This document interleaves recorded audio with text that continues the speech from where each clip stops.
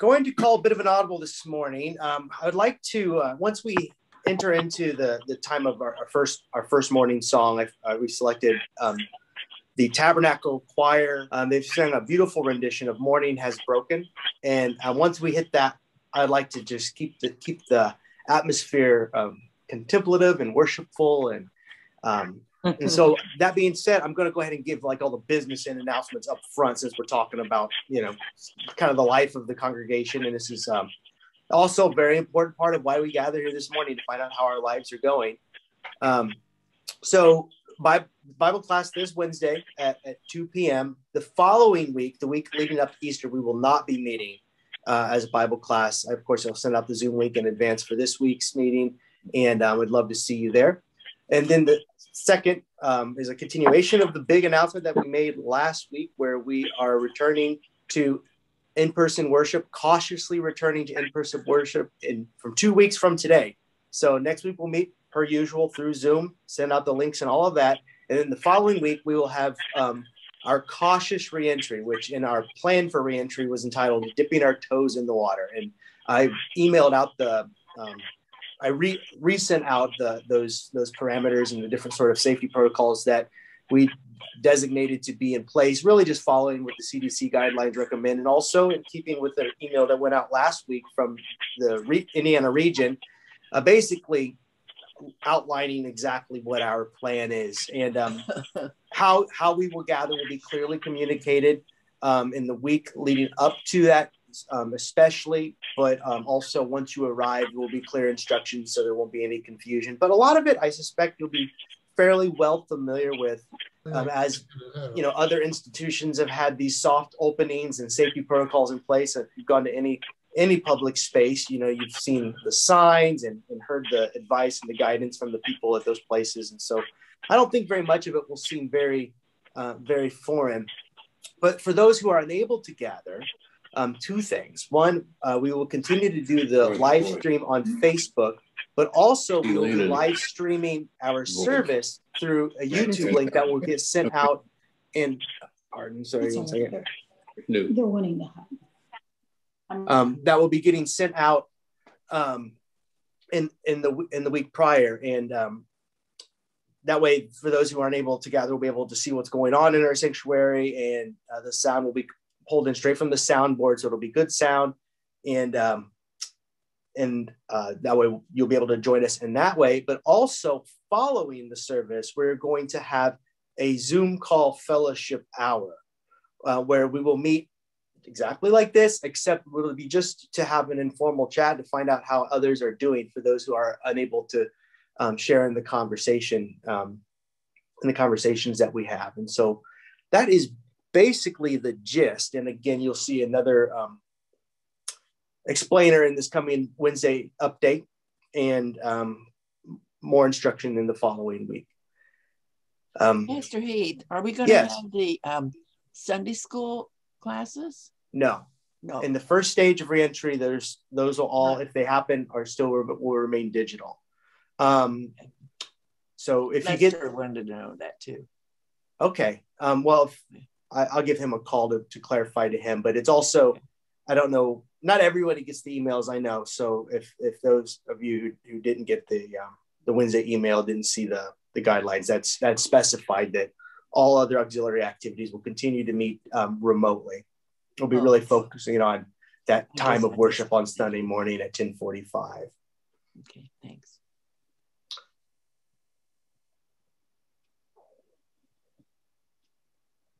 So um, that those are the announcements that I have. I would like to now open it up to uh, the rest of you for um, joys or concerns or prayer requests or anything that you might like me to know. I've, I've muted everybody, so if you have something to say, please unmute yourself.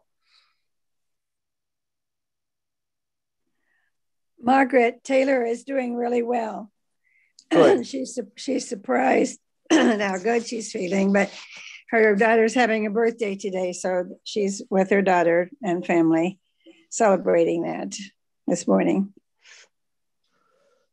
On, on that vein, I have um, news from Sandra Anderson. I spoke with her on the phone this week, and um, she is leaving the room that she has been holed up in for over a year, a, a, special care unit, and she's being put into a room that she is is um, um, more homey and, and comfortable for her. And she is excited for that move. And, and she said that she would let me know when she has all of the details for that. But uh, she's been wanting out of um, that room in the in the special care unit for a long time, and so she is very excited to finally uh, be be on her way. And this is also a sign of progress. And so that's a that's a joy that she is uh, she is feeling feeling better in, in that respect.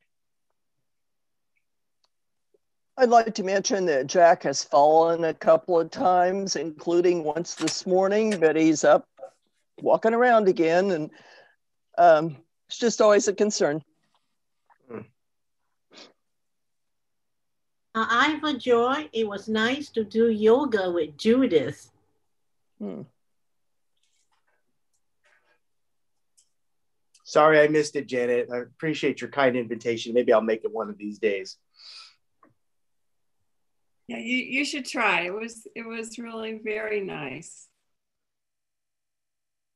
Well, maybe.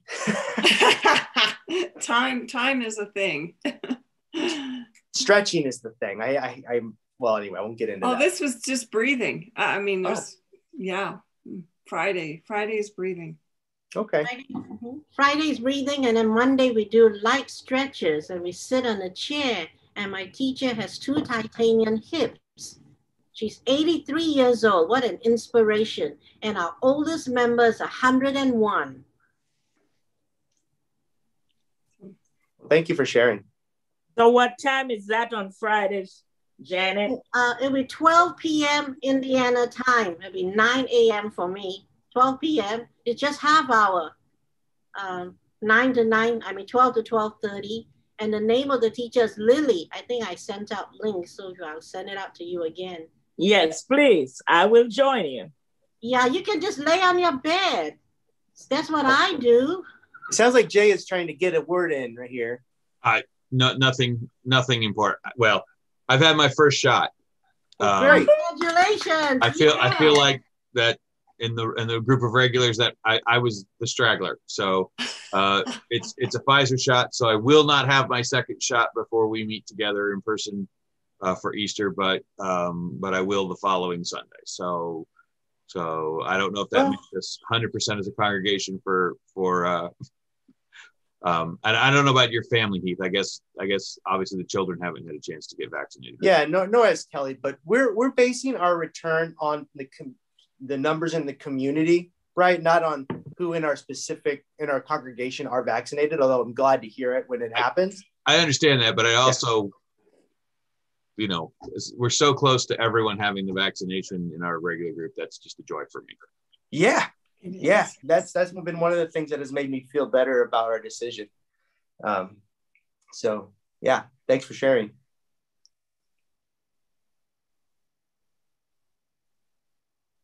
Well, if there are no other joys or concerns, I will pray in a moment. But first, let's still and quiet our spirits as we enter into a time of worship, um, of, of, preparation for uh, for the Holy Spirit to speak to us this morning together and to tell us things about ourselves that we need to know, so that we might become more like Jesus. And the first song that we will be enjoying together is "Morning Has Broken," sung by the Tabernacle Choir.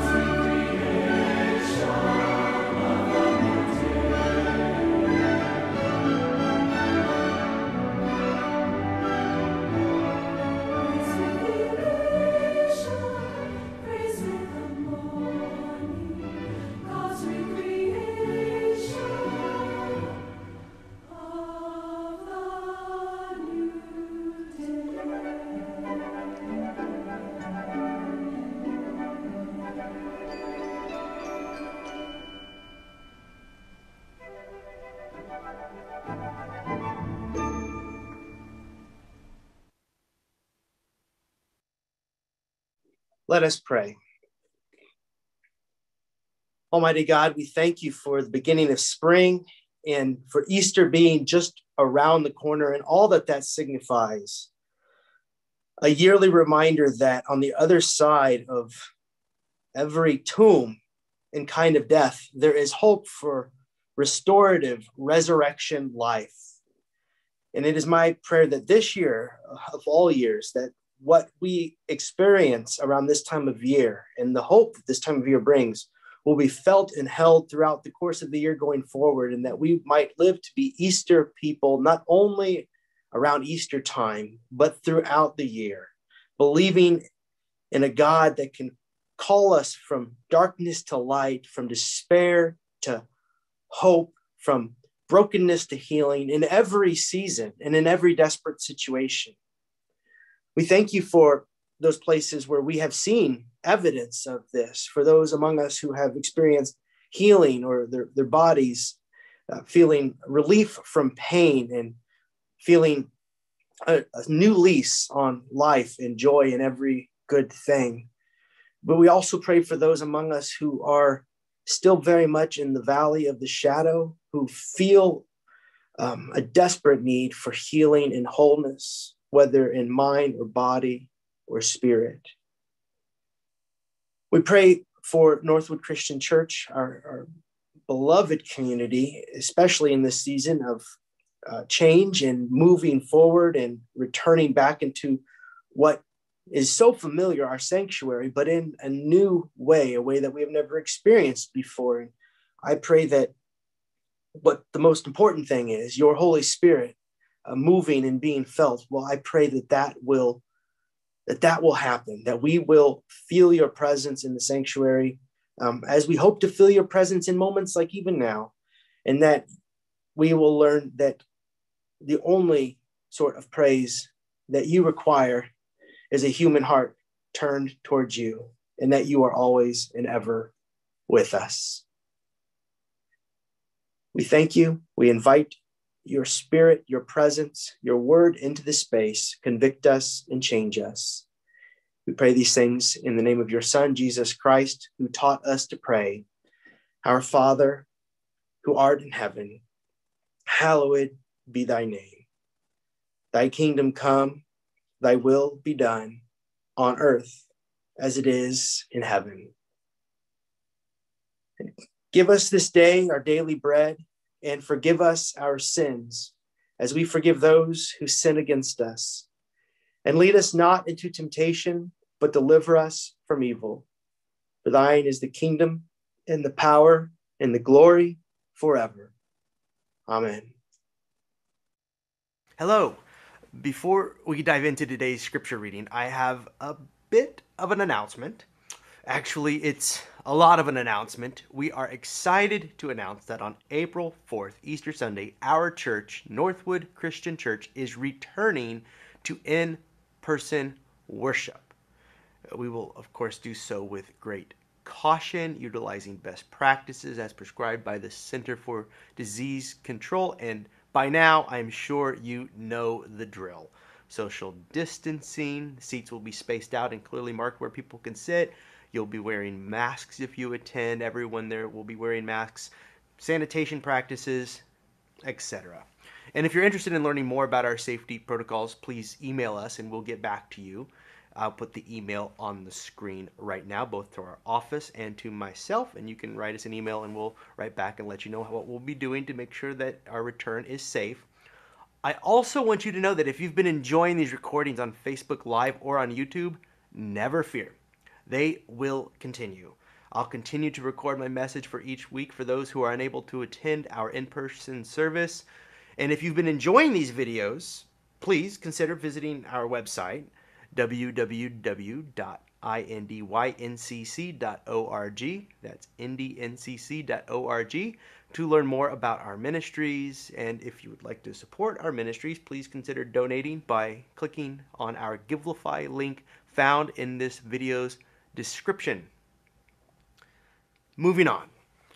Today's scripture passage is found in the Gospel of John, chapter 12, verses 20 through 33, and they read now, among those who went up to worship. At the festival were some Greeks. They came to Philip, who was from Bethsaida in Galilee, and said to him, Sir, we wish to see Jesus. Philip went and told Andrew, then Andrew and Philip went and told Jesus. Jesus answered them, The hour has come for the Son of Man to be glorified. Very truly I tell you, unless a grain of wheat falls into the earth and dies, it remains just a single grain. But if it dies, it bears much fruit. Those who love their life lose it, and those who hate their life in this world will keep it for eternal life. Whoever serves me must follow me, and where I am, there will my servant be also. Whoever serves me, the Father will honor. Now my soul is troubled. And what should I say? Father, save me from this hour?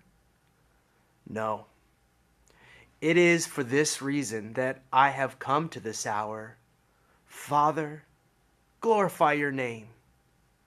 Then a voice came from heaven I have glorified it, and I will glorify it again. The crowd standing there heard it and said it was thunder. Others said, An angel has spoken to him. Jesus answered, This voice has come for your sake, not for mine. Now is the judgment of this world.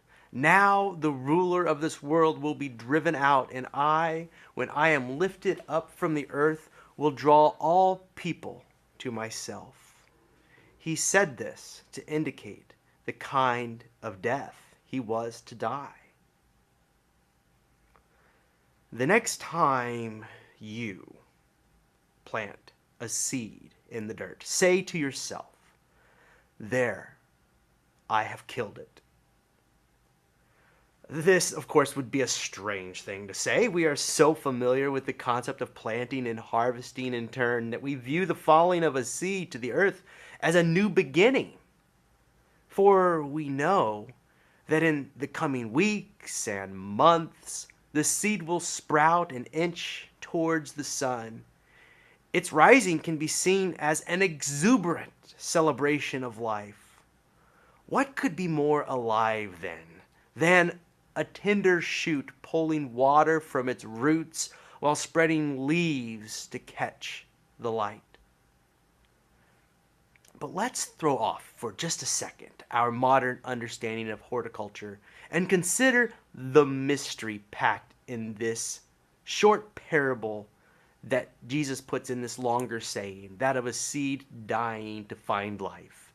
Uh, because by now, we've observed so many seeds breaking forth to new life that the whole process has become nearly mundane. But when you step back and consider things anew, the entire process is counterintuitive. In temperate climates, the plant spends the hot summer months spreading out and swelling to newer and fuller life. Leaves stretch out eagerly, basking in yellow rays. Branches and vines are laden with fruit, bright in color and rich in flavor.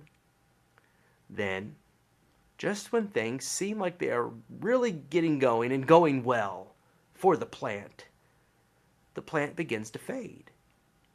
The frost comes. The fruit's bright color begins to wane. The leaves begin to wither. And the fruit begins to shrivel falls to the ground and is eventually swallowed by the earth. This is a kind of dying. All change in one form or another may be a kind of dying, but it is a kind of letting go as well. Imagine that you hold a seed in your hand. It is a seed you have long cherished, for you have held it in your hand for a long time. And why? because you know that contained in that seed is something special. However, you are loath to let it go, for if you do, you feel as though you will lose it all or part of yourself. Does this sound far fetched? Not so. I've seen it happen in recent years. only a few years ago, my daughter was playing in our backyard in the moments while I was getting ready to take her to preschool when she made a great discovery. As I approached her to get her ready to enter into the vehicle and leave for her preschool, she said, Dad, look! And on the ground, she had created a little pile of small black beads. At first, I was afraid that they were rabbit droppings, but on closer examination, I discovered that they were seeds. They were about the size of small blueberries and cold black. She had pulled them from the pod of a plant that lay shriveled on the ground. The plant had died, you see. It had no more life in it but the seeds. She knew that they were special, intuited it at four years old. And I knew this was so because when I asked for them, she drew her hand back, wondering if I were going to throw them away. No, I said, for I didn't want to pick a fight with a four year old in the morning. However, I have a sneaking suspicion that she is going to do the same thing with those seeds as she does with her collection of buckeyes. I think she plans to hoard them, and if she does it, it will be very difficult for her to let them go. And she ought to know better. Really, she should. For in that year prior, we had planted a garden together. We had taken little seeds, seeds that looked every bit as dead as the ones that she was hoarding in that moment and the ones that she hoards in her room. And we let them fall to the earth. And I showed her how to cut a very small furrow with her finger in the raised bed garden, and how to gently lay the small carrot seeds to rest. And in the following weeks, we marveled at how the little seeds came alive, creating new life. What's more, they have now left seeds of their own. So she has seen with her own eyes what may happen if she were to let seeds go. I recently heard a story about some archaeologists who were digging about in Egypt and they found amongst pottery shards and artifacts some wheat seeds. Now, they estimated that those wheat seeds had been cast aside approximately 5,000 years ago. Just wrap your mind around that fact for a second. For 5,000 years, they lay seemingly dead and without life. However, someone, one of those archaeologists or someone on the crew, decided to plant a few of them, and wouldn't you know it, they actually grew. Seeds that had laid dormant for five millennia came to life and produced new life. But if they are not planted, if they had not been planted, well, seeds left in that state aren't good for very much. And so, what I hope to teach my children is that the more that they hold on to what they have, the more they will miss. Unless we are willing to hold on to what we have with an open hand, we will not find the life that comes after letting go. Or, in the words of Jesus, very truly I tell you, unless a grain of wheat falls into the earth and dies, it remains just a single grain a single seed. But there are countless ways for us to die, and thousands of things we might have to let go of and lose to find life. When a woman gives her time and resources to show love and bring life to the poor, she dies a kind of death. She dies in small ways to herself. She loses something, some small parts of her life synergy but many are drawn to the love she gives. And what she receives in the joy that loving gives is more than repayment, if repayment was ever the point from the onset. What she had gained was far more than what had to die, but she had to die in part first. When a man gives of his time and resources to provide constant and sustainable water for a people who would otherwise die of thirst or disease, he dies a kind of death. He dies in small ways to himself. The sacrifices that he makes, he loses something, some small parts of his life's energy. But many are drawn to the life he gives, and what he receives in the joy of loving gives more than repayment, if repayment was ever even the point. But before life, he had to die in part first. He had to give perhaps money, perhaps his own energies. He had to let go. I'm learning that when my children decide that their Christmas presents would bring more joy to other children whose parents cannot afford even the cheapest of toys, they die a kind of death. Spent tears, emotional pain, and hours lost trying to convince them that they can let go of those plastic toys for the love of another.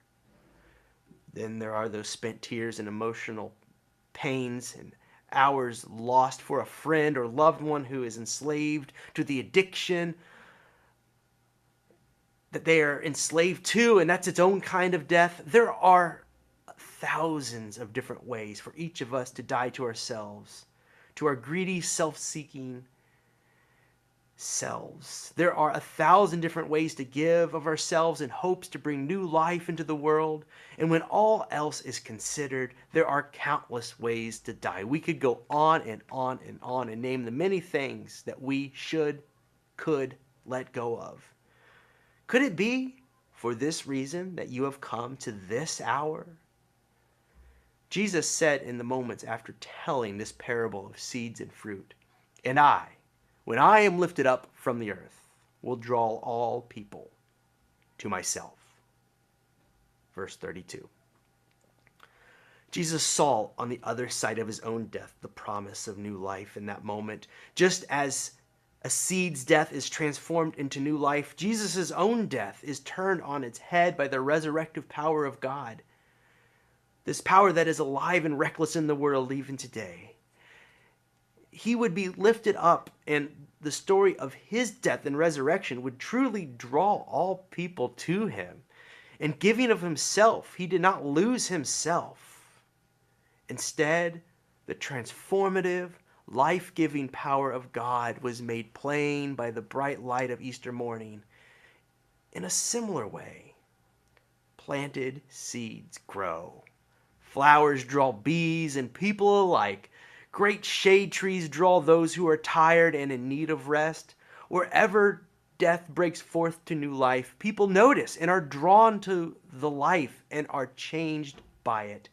When we die to ourselves, all manner of people are drawn to the love of God they see in the sacrifice. We find that the dying is not an end, but a beginning of new things. On the other side of each rejection of the selfish, self advancing ways of this world is a newness of life. God calls into being. The poor find a second lease on life. The thirsty who are replenished are given opportunities to, in turn, give their own lives and die their own sorts of deaths in the name of God's love. The addict is restored to wholeness of life the wholeness that he was meant for from the onset and can then help others along the way. But letting go of the seeds or anything else, well, that is hard. Takes quite a bit of faith and trust, in fact. But if we hold on to the seed, it remains dead. But the point of the seed is that it is in the moment when it appears most dead that it can truly be said to begin to come alive. In the same way, it is precisely when we've yielded our own lives to the transformative power of God that we can truly begin to live. Jesus has called you to die to yourself so that you and others might live. So the question remains have you died? Have you let go in the ways that you should? It's a long conversation to have with yourself. And we here at Northwood Christian Church are trying to do just that. We are holding more than a handful of seeds in our hands. And make no mistake about it, we have an abundance of resources, not limitless resources, but still more than not a few. And the question remains will we plant them into the ground? Will we let certain aspects of ourselves together die so that we might live again and again and again? And Jesus himself was troubled at this prospect. He says in the hours building to his own death, his own letting go, now, he said, now my heart is troubled. And that's probably putting it mildly. And it is troubling and scary to let go of what we have in hopes that something might grow again, to let the seeds fall from our hands, whether the seed is money, time, ideas, or some long cherished tradition. God understands the fear and discomfort letting go brings, and will see us through it. Jesus said, Very truly I tell you, unless a grain of wheat falls into the earth and dies, it remains just a single grain. Which is to say, to us today, unless we let go of certain ways of being, what we've had in the past will remain just that in the past, the last seed in a long line of planting and harvesting. But if it dies, it bears much fruit. So, we here at Northwood have, in these recent years, been having hard but hopeful discussions about what seeds need planted and what plants need pruned. And we will do the right thing so long as we hold what we have with open hands, minds, and hearts. So that when we are called to let them go, we will find the grace, love, and courage and joy to do just that. And if God is faithful, and God is faithful, that is our conviction. God is faithful. And if that is true, then we will be amazed at what grows. But only if we are able to let some things go.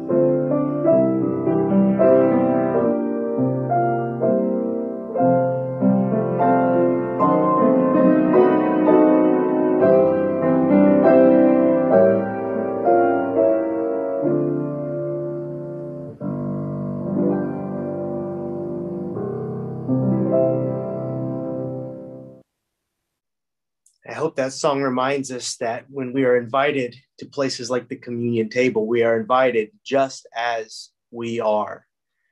You are welcome in this space just as you are. That is the way of God's love and the way of God's grace. And this sacred meal that we are about to share, Holy Communion, is a reminder of that. And we do it every week as Jesus commanded his disciples to do. On that night where he took bread, and after he'd given thanks for it, he broke it and he passed it to his disciples, saying, This is my body, which is being broken for you. Take and eat in remembrance of me. And likewise, took the cup and he blessed it and he poured it out to his disciples, saying, This is my blood of the new covenant, which is being shed for the forgiveness of your sins. Take and drink in remembrance of me. For as often as you take of the bread or drink of the cup, you proclaim our Lord's death until he returns.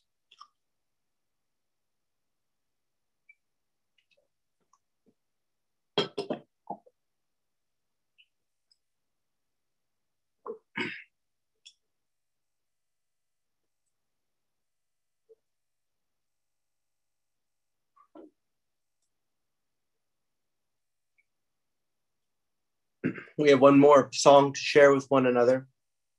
I ask that this somber moment of reflecting that I hope began during the sermon and carried on was heightened by communion might continue as we hear this last song, and then I will see you all after the benediction.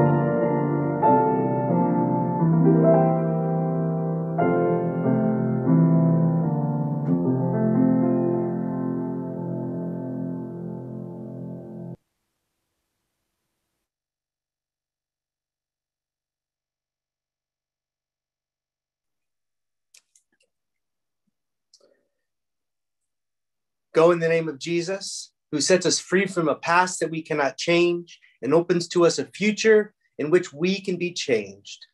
Almighty God, grant us the grace to grow more and more in your likeness and in your image through Jesus Christ, the light of the world.